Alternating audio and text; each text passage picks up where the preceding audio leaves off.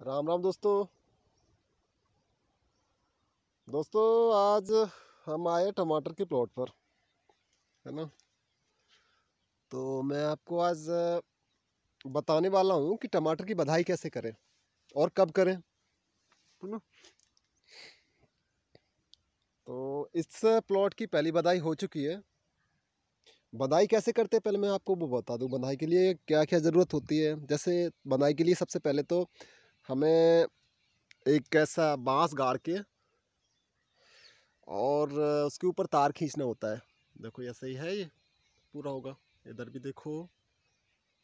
और इधर भी है। है ना? इस तार को हम लगभग साढ़े पाँच और पाँच पाँच पाँच, साढ़े पाँच की फीट की ऊंचाई पे बांधते हैं। इतनी ऊंचाई क्यों रखते हैं? है ना? इतनी लगभग साढ़े पाँच फीट की ऊंचाई रखोगे जब बाँस पे यहाँ पे तो इस बा इस बाँस और इस बाँस के बीच में। यहाँ पे जब आओगे तो यहाँ पे ये पाँच फीट ही रह जाएगी। थोड़ा बहुत ढीला हो ही जाता है। आप कितना भी टाइट बांधोगे फिर भी लगभग इतना ढीला तो हो जाता है। तो यहाँ से इतना हाइट रखेंगे।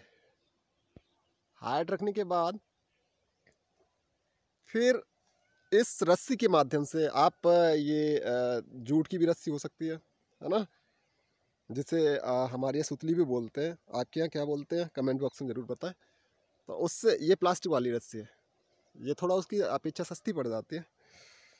तो इससे बांधेंगे। इसकी पहली बंधाई हो चुकी है। अब बंधाई कैसे करेंगे? बंधाई के लिए सबसे बड़ी बात, जैसे ये देखो, पहले ही बांधा ये।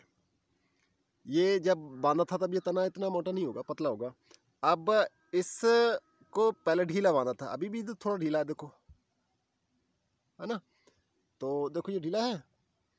तो ये ढीला रखेंगे। अगर ज़्यादा टाइट बाँध देंगे तो जब ये तना मोटा होगा तो फिर वो कस जाएगा उसमें, है ना?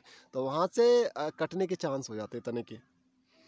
अब यहाँ पे बनने के बाद, अब ये दूसरी बंधाई के लिए तैयार है तो अब कहाँ बांधेंगे? तो अब जैसे ये है, तने का आखिरी भी है है ना?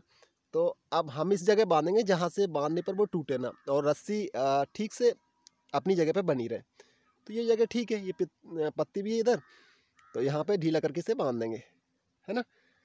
तो बांधने के बाद इस तार से बाँध देंगे, ठीक है? जैसे ही फिर आगे बढ़ेगा तो फिर ऐसी बधाई फिर होगी। तो जानकारी कैसी लगी? कमेंट बॉक्स में ज़रूर बताएँ। धन्यवाद।